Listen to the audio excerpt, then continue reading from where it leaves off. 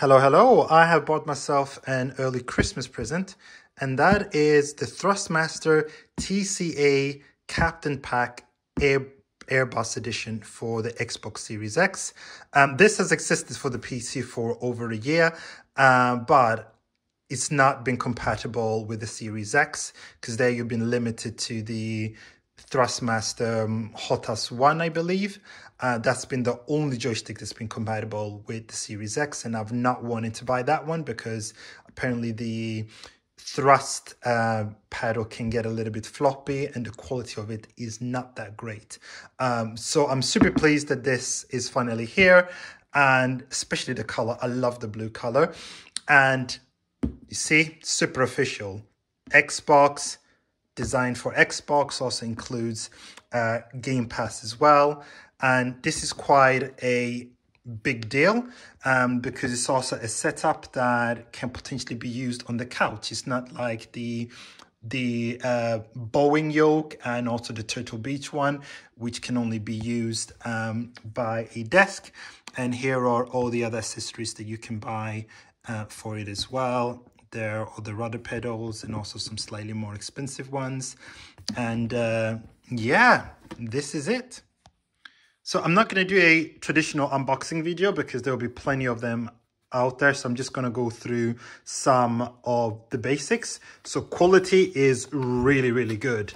Absolutely good. It's plastic, but it feels solid enough. It doesn't feel like a cheap Fisher Price type product. So a quick run through the, the joystick. As you can see, the Xbox One has colored buttons A, B, X, and Y, which you don't get on the PC edition. It also has these buttons for screenshots, and the joystick can be used either left or right-handed. You also get a spare of these that you can swap around as well. And there's a, a trigger button there, and then there's a secondary button there too.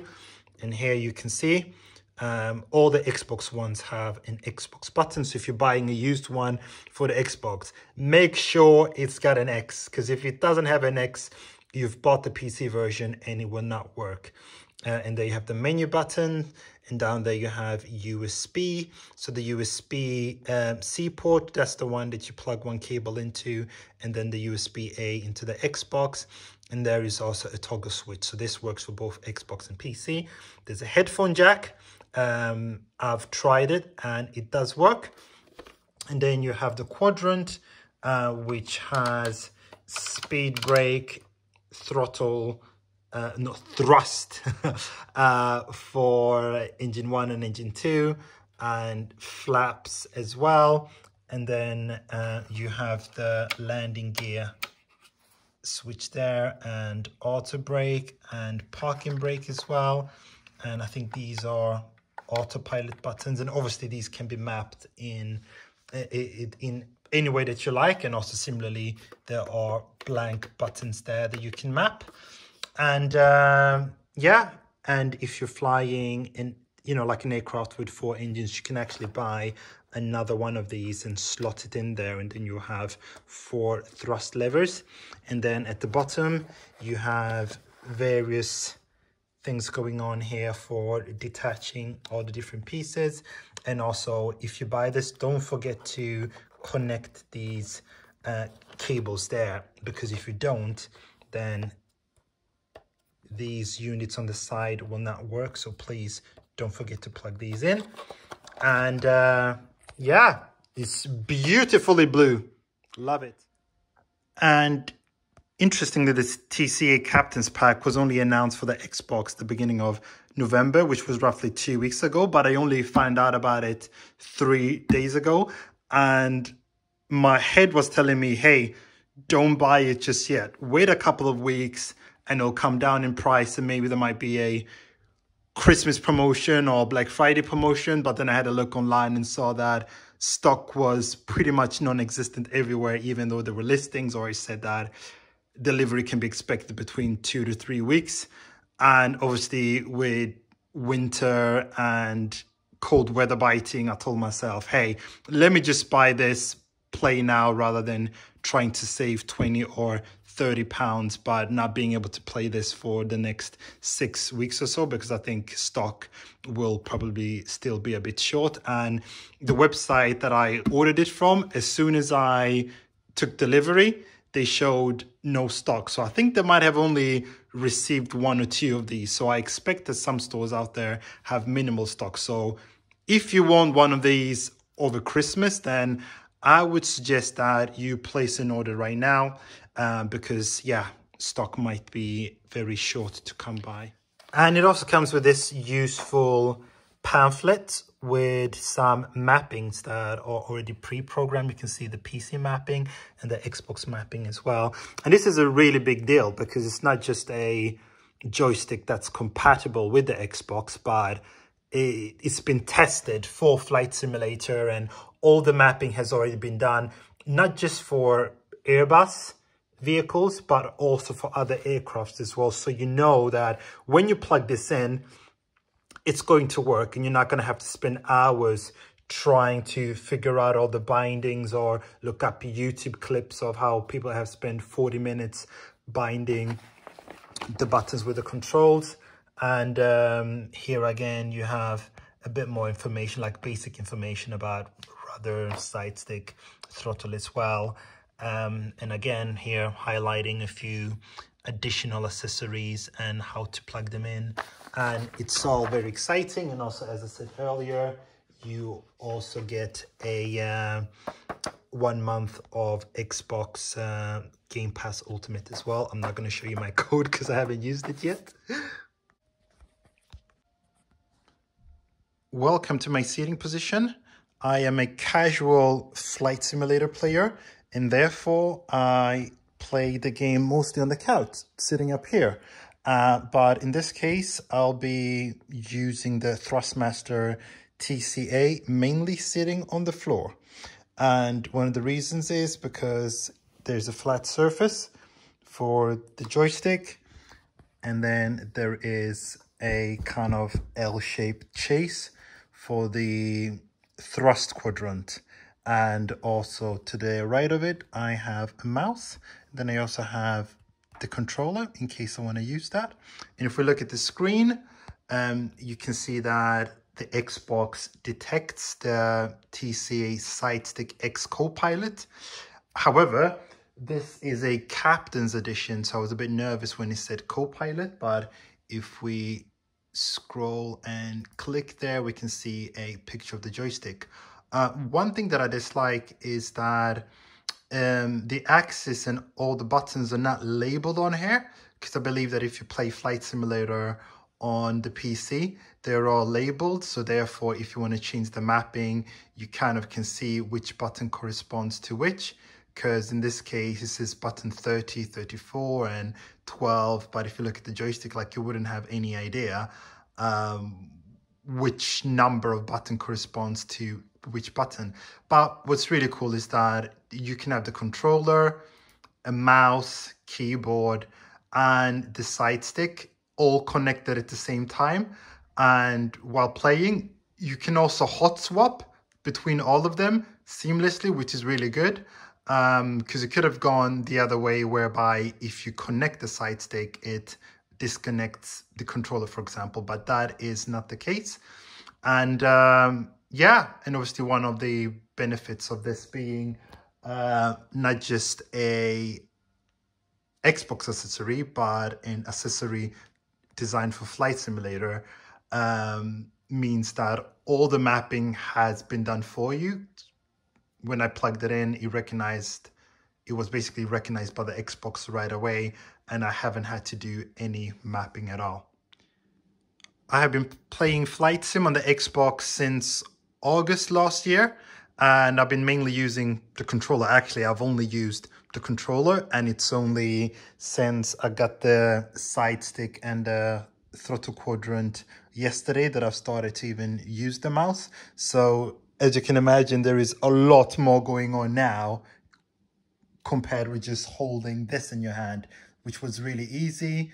Um, so there's been a bit of a learning curve, but I've played with this now for about an hour or two and I'm already getting used to it. And um, so a lot of you are probably going to wonder what's working, what's not working. And first of all, the stick works really well and it's super sensitive. Like even if I tap on it, you can see the corresponding movement on the screen. So it's very, very precise, at least relatively to what I expected. And then we can see the rudders works as well. And here you have the throttle quadrant. So there you go, it works fine. And the landing gear selector or lever. And then here is the, what is it called again? Is it auto brakes? Ah, speed brake. Um, and then let's see if the flap works. They absolutely worked. Um, and one thing you should probably know is that when you start the game, and let's say you're starting with the throttle at their max position, that's not pre-selected. Um, it's not pre-selected in the sense that if you start on the runway and start the game with the throttles on max, the plane isn't just going to take off. It's still going to stay in the kind of idle position until you start to move this. So you don't need to be nervous about, for example, um, starting in the air and then seeing that the uh, uh, uh landing gear is down. Like it's not going to come down right away. So that's really cleverly done in the sense that you don't need to be nervous about the positions that these are in before you jump into a game. Um, but overall, I'm really enjoying having the mouse as well. Like the mouse precision is absolutely amazing. Really, really good. So much easier to move around the cockpit um, compared with using the controller. And also the benefit of having the mouse here is that I can keep my left hand on the joystick, control the plane while panning around the cockpit, uh, which is not really that easy to do if you're holding um, a controller. And I would also like to flag that um, I might be inside an Airbus right now, but I've tried the side stick um, inside, um, I think a Boeing as well. And all of these control works in planes that have them. And obviously if a plane does not have a speed brake, then obviously that won't really do anything. Uh, but it's really glorious and it's really satisfying to, to you know, engage reverse thrust as well. So yeah, as you can see here, it just clicks and it's very tactile and uh, yeah, overall, I'm really pleased with it and look forward to playing a lot more over the next couple of weeks, especially going into winter. So without further ado, let's take off. So first, let me add some thrust and then disengage parking brake apply some flaps. You can see the plane is now moving. Here we go.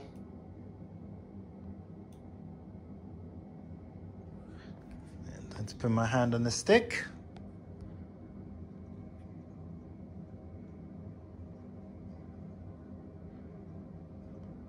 And are we ready for liftoff?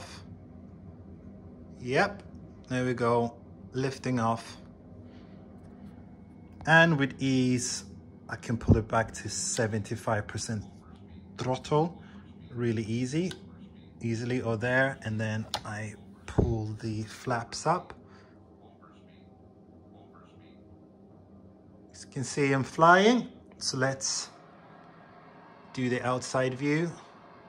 And where you do feel the benefit of this whole setup is pretty much when you're flying the big airliners because when you land at the big airliners you sometimes have to use speed brake you have to use flaps and just toggle between them.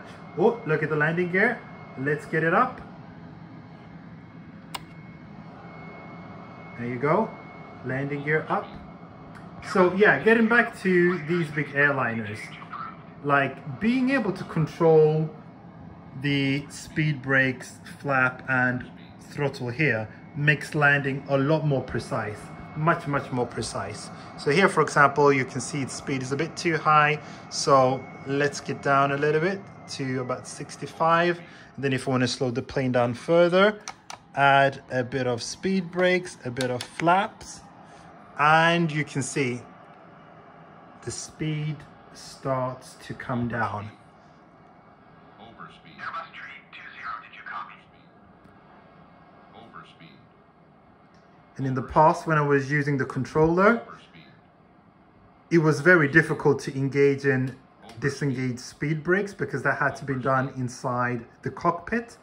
And if you're getting near the runway and you need to kind of maneuver the plane and adjust maybe the throttle a little bit, having to faff around with the speed brake inside the cockpit just made the whole experience feel like really, really rushed. So as you can see here, my speed is just coming down gradually. Oh, I can see an airstrip ahead of me. I didn't actually intend to land there, but let's try to land there anyway. I'm not a pro, by the way, but let's uh, just see this whole setup in action. Oops, accidentally touched the rudder. So now you can see the speed is 164. Altitude coming down nicely.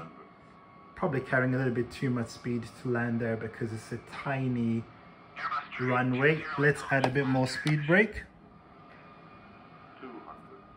A bit more.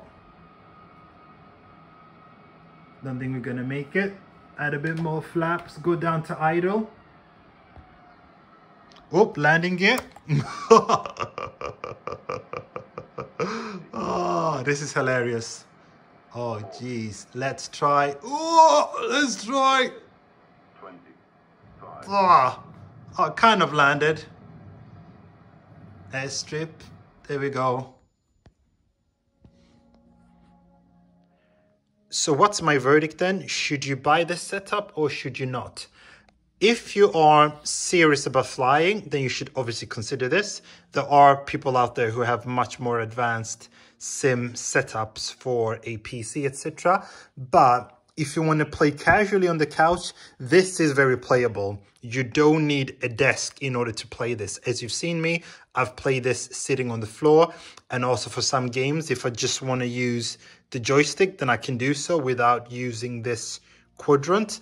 The fit and finish is very satisfying and the degree of motion is so much better than on the controller. And also when you're flying, even moving it a couple of millimeters will change your speed. And also the same applies to speed brakes as well. Um, all of these, all of these switch gear feel really, really good. Uh, but if you're a beginner who's never played Flight Simulator, then I recommend just using the controller.